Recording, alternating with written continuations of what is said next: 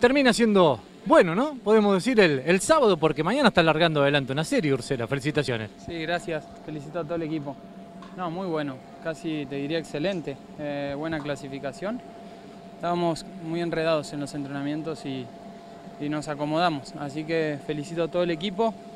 Carlitos Caunedo, que es, que es el ingeniero, Horacio Soljan, eh, dueño del equipo y motorista, a todos los mecánicos, a mi grupo cercano de trabajo, Negro Flores, a Cris, Almella, a Gomita, a mi viejo, a todos los que de alguna u otra forma me dan una mano. Eh, era una, una situación difícil, ¿no? Arranque de copa, no estábamos andando como, como queríamos y salió una muy buena vuelta, así que contento, eh, veremos qué pasa mañana. ¿Preocupaba también cuando la miraban de abajo y veían que los otros grupos por ahí los tiempos eran altos, que no lograban mejorar con la goma nueva, lo hecho en entrenamiento?